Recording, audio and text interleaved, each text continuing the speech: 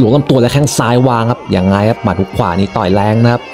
หมัดทุบลำตัวและแข้งซ้ายครับของสิทธิชัยครับแข้งซ้ายวาง แสนเชิงสองมาครับขอเสนอคู่มวยระหว่างสิทธิชัยสิทธิสองพี่น้องครับจะปะทะพึ่งหลวงสิทธิผู้พันตูนะครับชกในศึกเดอะแชมเปี้ยนขับนายครับนาเกาะช้างจังหวัดตราดนะครับไปนี้ก็เป็นการชิงแชมป์วันคิงในรุ่น 70 กิโลกรัมครับโดยเป็นมวยรอบทัวร์นาเมนต์4คนนะครับชกวันเดียวจบเพื่อหาแชมป์ครับ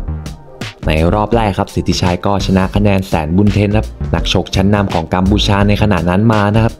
ส่วนทางฝั่งของพึ่งหลวงครับ ชนะคะแนนวาซิลีกอฟนักชกชาวรัสเซียนะครับชกกันมาคนละ3ยกแล้วทั้งคู่ครับเรามาดูในรอบชิงครับ ในกติกามวยไทย 3 ยกนะครับ ในพิกัด 70 กิโลกรัมครับหยับขยับกระแทกยับกระสับขาบสิทธิชัย วันที่ปะทะกันก็ 5 มกราปี 56 ครับ หรือคศ2013 นะครับถีบยันไปครับสิทธิชัยแข้งซ้ายวางครับ สิทธิชัยนี่มวยซ้ายครับส่วนพึ่งหลวงมวยขวาครับถีบหลุดไปเจอหมัดซ้ายของสิทธิชัยครับพึ่งหลวงถีบหลุดนะครับเหยียดเข้าหาขยับเข้าไปครับกัดใหญ่ครับ 70กิโลกรัมครับหลวงลำตัวไปครับสิทธิชัย ขยับขยับนักชกจากจังหวัดบุรีรัมย์ครับ ในขณะนั้นก็วัย 22 ปีครับกระแทกยับและแข้งซ้ายวางครับเบียดเข้าหาครับขยับเข้าไปครับเจ้าของฉายาคิวเลอร์คิดครับไอ้หนูนักฆ่านะครับ เป็นนักชกที่อาวุธครบเครื่องครับ เปิดเกมได้นะครับรับได้ครับสิทธิชัยหยิบยันมาพึ่งหลวงสิทธิชัยขยับขยับเข้าไปครับ หลวงลำตัวและแข้งซ้ายวางครับอย่างไงครับหมัดหุกขวานี่ต่อยแรงนะครับหมัดทุบลำตัวและแข้งซ้ายครับของสิทธิชัยครับแข้งซ้ายวางครับหวดไปที่ก้านคอนะครับกรรมการต้องนับแปดครับเตะทั้งกาดทั้งบังนะครับอย่างลงครับพึ่งหลวงก็ชกมาแล้ว 3 ยกครับ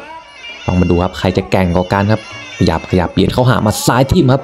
หล่นลงไปครับก็ไม่ไหวครับเป็นสิทธิชัยที่ชนะน็อกไปนะครับ เรามาชมจังหวะภาพช้าครับนกกระจอกยังไม่ทันกินน้ำครับลงลำตัวไปครับสิทธิชัย กระแทกยับครับ เบียดเข้าหาครับกระแทกยับนำไปครับแข้งซ้ายวางครับยังไม่เข้านะครับแข้งนี้ขยับขยับเบียดเข้าไปครับทุบลำตัวและแข้งซ้ายวางครับ น่าจะจุกหรือเปล่าครับพึ่งหลวงและหลังจากนั้นครับ สิทธิชัยขยับขยับแข้งซ้ายสูงครับ มีอาการครับและแข้งซ้ายทีนึงครับ หล่นลงไปครับ